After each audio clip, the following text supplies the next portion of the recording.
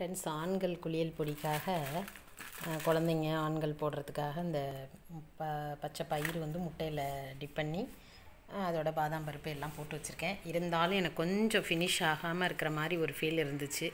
அதனால் இன்றைக்கி பூக்கார்ட்டை தாமரைப்பூ ரோஸு இது வந்து சம்மங்கி மஞ்சள் ஜவந்தி இதெல்லாம் வாங்கி அதோட காய வச்சு அப்படியே நெல்லல் காய்ச்சலாகவே ஒரு ரெண்டு நாள் போட்டிருந்தோம்னா நம்ம ஊர் வெயிலுக்கு அப்படியே மொறு மொறுன்னு ஆகிடும் எடுத்து கொஞ்சம் நேரம் ஒரு ஆஃப் அன் ஹவர் வெயிலில் வச்சுருந்து கொண்டு போய் அரைச்சிட்டு வந்துடுவேன் அப்போ ஒரு வாசனை இருக்கும். நல்ல ஸ்கின் வந்து ஒரு சுருக்கம்லாம் இல்லாமல் நல்ல ஒரு க்ளோ கிடைக்கும் ஃப்ரெண்ட்ஸ்